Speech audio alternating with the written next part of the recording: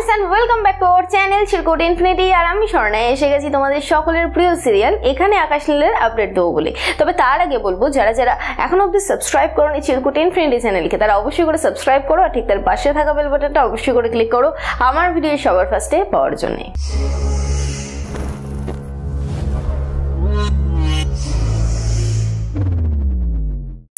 এখানে আকাশ নিলে এই মুহূর্তে আমরা হতে হতে না হওয়া শাশুড়ির কিছু কিছু ডায়লগ শুনে অত্যন্ত রেগে গেছি। তার সাথে রেগে গেছি আমাদের ঝিঙ্কু মামনিকে দেখে। তার কারণ হচ্ছে আমাদের পছন্দের যে জুটিটা ছিল উজান হিয়া তাদেরকে আমরা দেখতেই পাচ্ছি না। তো এই জন্যে অনেকটা আন্দোলন হয়েছে যে অনামিকাকে চাই অনামিকাকে চাই, হিয়া হিসেবে অনামিকাকেই চাই, অন্য কাউকে চাই না। তো সেই নিয়ে অনেক গন্ডগোল হয়েছে, অনেক ঝামেলা হয়েছে, অনেক ভুল বোঝাবুঝি হয়েছে। কিন্তু অবশেষে অনামিকা ফ্লোরে এসেছে। সে আসতে পারছিল না, তার কারণটা অনেকটা ছিল এবং সেগুলো আমি আমার প্রত্যেকটা ভিডিওতেই হয়তো বলে এসেছি, আর হয়তো নতুন করে বলার দরকার পড়বে না। তো যাই হোক, অবশেষে অনামিকা ফিরে এসেছে ফ্লোরে। অনামিকা ফ্লোরে এসেছে মানেই আমরা ধরে নিতে পারি যে শুটিং সে শুরু করবে। না হলে এমনি এমনি নিশ্চয়ই কেউ ফ্লোরে আসবে না। ফ্লোরে যখন এসেছে শুটিং তো এবার হবেই। তবে শুটিং যখন শুরু হচ্ছে, তখন আমরা ধরে নিতেই পারি যে, এবার হয়তো উজান আর হিয়ার দেখা হতে পারে। তো গল্পটা এখন চলছে ঝিনুকের লাইফ স্টোরি নিয়ে।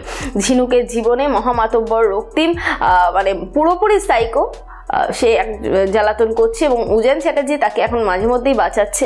উজেন চ্যাটার্জি তার পাশে পুরোপুরি একটা গার্ড হয়ে দাঁড়িয়ে রয়েছে যে জিনিসটা দেখে দর্শক মহল অত্যন্ত ক্ষেপে আছে। যার জন্য ব্যক্তিগতভাবে প্রমিতাকে আমরা সবসময় ঠুকছি এবং বলছি যে কোনো দরকার নেই, সিরিয়াল থেকে বেরিয়ে যাক। কিন্তু না আমি আজকে যেটা বলব, সেটা একটু অন্যরকম। আমি জানি এই ভিডিওর পরে অনেক রকম ঝামেলা হতে পারে এবং অনেক বন্ধুরা বলতে পারে, দিদি, আজকের ভিডিওটা এরকম কেন ছিল? তো বিষয় হচ্ছে দেখো প্রমিতাও একটা ক্যারেক্টার একটা সময় বধুবরণে সে খুব ভালো ছিল এবং জনপ্রিয় হয়েছিল। তারপরে সাত ভাই চম্পাতেও সে কিন্তু জনপ্রিয় হয়েছিল। মানছি, এটাতে সে সাইড রোল করছে। কিন্তু তার মানে কিন্তু এটা নয় যে সে খারাপ অভিনয় করছে। তার অভিনয়ের মাধ্যমে সে কিন্তু যথেষ্ট চেষ্টা করছে ফুটিয়ে তোলার। এবং এই মুহূর্তে যেহেতু হিয়া অসুস্থ, গল্পে দেখানো হচ্ছে এবং যেহেতু অনামিকা ফ্লোরে আসতে পারছিল না, শুটিং করতে পারছিল না, তার জন্য গল্পে একটা নতুন দিক আনা হয়েছিল। তো এবার যখন অনামিকা ফিরেছে, তখন গল্পটা আবারও একটু চেঞ্জ হবে। তো গল্পটা এবার হয়তো এরকমটা হলেও হতে পারে বলে আমার মনে হয় যে হিয়ার ব্যাপারে এবার সমস্ত কিছু ডক্টর উজান চ্যাটার্জি জেনে যাবে। আর ডক্টর উজান চ্যাটার্জি যদি জেনে যায়, তাহলে তো আর কোনো সমস্যাই থাকছে না। সেটা যেভাবেই হোক ঝিনুকের মাধ্যমে হোক কিংবা ডোডোর মাধ্যমে হোক যেভাবেই হোক সেটা হয়তো খুব তাড়াতাড়ি হয়তো উজেন চ্যাটার্জি জেনে যাবে যে হিয়া অসুস্থ আছে। এবং তারপরে হয়তো হিয়ার সাথে দেখা হবে। আচ্ছা যদি নাও জানে, তাহলে হয়তো হিয়ার সামনাসামনি সে হবে। হয়ে জানতে চাইবে যে হিয়া এতদিন ধরে কেন নিজেকে সরিয়ে রেখেছে। তা বাদেও গল্পের যেটা মোটিভ ছিল মানে অরিজিনাল যেটা গল্প ছিল, সেটা হচ্ছে হিয়ার ডাক্তার হওয়ার স্বপ্ন। যে স্বপ্ন নিয়ে হিয়া বহু দূর থেকে এসেছিল কলকাতার টিউলিপে। তো সেইখানে দাঁড়িয়ে থেকে সে সব সময় স্বপ্ন দেখেছিল যে যেভাবে হোক সে ডাক্তার হবে তো অবশেষে সেই গল্পটা থেকে সরে আসবে কিনা স্টোরি লাইন সেটা আমরা জানি না। তবে আমার মনে হয় না, মূল কাহিনী থেকে গল্প কখনোই এদিক ওদিক হয়ে যাবে।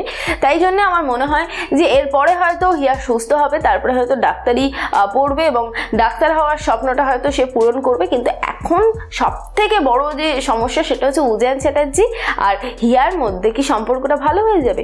দেখো হিয়া যখন ফ্লোরে ফিরেই এসেছে, তখন আমার মনে হয় যে, এখানে এবার হয়তো মিল দেখিয়ে দেবে। এবার হয়তো ভালোবাসার জন্য এতদিন হিয়া পাগলামো করেছে। এবার হয়তো আমরা উজানকে পাগলামো করতে দেখতে পাবো। তবে যতটুকু গল্প আমরা দেখেছি, তাতে করে এটা পুরোপুরি শিওর হতে পারছি যে, হয়তো এখানে ঝিনুক রানীর ওই হতে হতে না হওয়া শাশুড়ি ভিলেন হয়ে গেলেও যেতে পারে। তার কারণ হচ্ছে তার তো নাতনি অলরেডি অ্যাঞ্জেল বানিয়ে দিয়েছে আমাদের উজান চ্যাটার্জিকে। এবার তার নাতনি যদি এখন মাঝে মধ্যেই বলে যে, আমি এখন ওনার কাছে যাব, ওনার সাথে সময় কাটাবো, ওনার সাথে থাকব তাহলে একটা মনে হয় বড় প্রবলেম হলেও হতে পারে। উজানো হিয়ার জীবনে। তবে তারই পাশাপাশি রক্তিম ভালো হয়ে যাবে কিনা নাকি রক্তিমের জায়গায় আমাদের ডোডোই বিয়ে করে নেবে ঝিনুক রানীকে সেগুলো তো আমরা জানতে পারব। তবে তারই পাশাপাশি একটা খুব ইম্পর্টেন্ট আপডেট সেটা হচ্ছে নীলিমা ক্যারেক্টার নীলিমা ক্যারেক্টার নাকি টোটালি বাদ হয়ে যাচ্ছে এই সিরিয়ালে এরকমটাই কিন্তু অনেক বন্ধুরা আমাদেরকে মেসেজে জানাচ্ছে এবং বলছে যে দিদি আহ, চাঁদনি নাকি আর এই সিরিয়ালে দেখা যাবে না? কারণ চাঁদনিদি এখানে আকাশ নীল সিরিয়াল ছেড়ে ব্লুজের কোনো একটা সিরিয়ালে হয়তো আসছে। হ্যাঁ আসতেই পারে, না আসার কোনো কারণ নেই, কারণ এর আগে আমরা চাঁদনিকে ব্লুজে কাজ করতে দেখেছি এবং একজন অভিনেতা বা একজন অভিনেত্রীর জীবনে সমস্ত রকমের কাজেরই প্রয়োজন হয়। সেক্ষেত্রে দেখো, এখানে আকাশ নীলে কিন্তু আমি বলব যে মেন ভিলেন কিন্তু ছিল এখানে চাঁদনি, অর্থাৎ নীলিমা। কারণ সে এই মুহূর্তে উজানকে চাইতো এবং এখনও অবধি সে হয়তো উজানকেই চায়, কিন্তু হিয়া থাকার জন্য সে সেটা সম্ভব করে উঠতে পারছে না। এত চেষ্টা করছে, এত চেষ্টা করছে, তবু উজান তাকে পাত্তা দিচ্ছে না। কিন্তু আবার ঝিনুকার সাথে দেখা যাচ্ছে যে উজান ঝিনুকের সাথে বেশ ভালো বন্ধুত্ব করে নিয়েছে। এখন নীলিমা এই সমস্ত কিছু দেখে একটু চাপে তো পড়বে সাংঘাতিকভাবে, এটা আমরা সকলেই বুঝতে পারছি। কিন্তু তার মানে এই না যে নীলিমা সিরিয়ালটা ছেড়ে দেবে। হ্যাঁ গল্পের খাতিরে যদি মনে হয় যে ঝিনুক ক্যারেক্টার ঢুকে গেছে, সেক্ষেত্রে নীলিমাকে আর না রাখাই ভালো।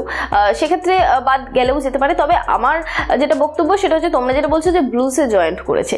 তো সেক্ষেত্রে কিন্তু বিহান যে ক্যারেক্টারটা রয়েছে, অর্থাৎ উজানের ভাই, সে কিন্তু এখানে আকাশ নীলেও রয়েছে, আবার কে আপন কে পরেও রয়েছে। তো দুটো জায়গাতেই কিন্তু সে রয়েছে। সেক্ষেত্রে নীলিমা অর্থাৎ চাঁদনি সেও কিন্তু দুটো জায়গাতেই থাকতে পারে। কোনো রকম কোনো প্রবলেম আমার মনে হয় না হবে।